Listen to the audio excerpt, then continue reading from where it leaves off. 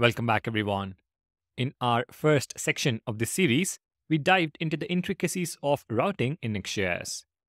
With that solid foundation, it's now time to move on to the second section, rendering in Next.js. At its core, rendering is a straightforward concept. It's the process of transforming the component code you write into user interfaces.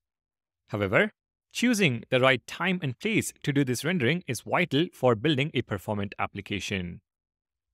You might have come across terms like CSR, SSR, and RSCs and felt a bit confused.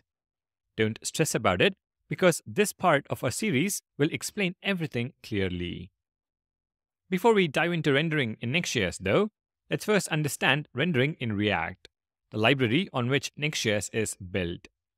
This understanding will help us better grasp how rendering works in Next.js. Finally, I want to mention that we will be covering a lot of different concepts in this section. As you watch the videos, it is normal to find some topics a bit tricky at first. If you don't fully understand something in a video, try watching it again, maybe even a third time. Trust me, going over things more than once can really help you understand them better. Alright, now that we have covered this section introduction, let's explore rendering in React.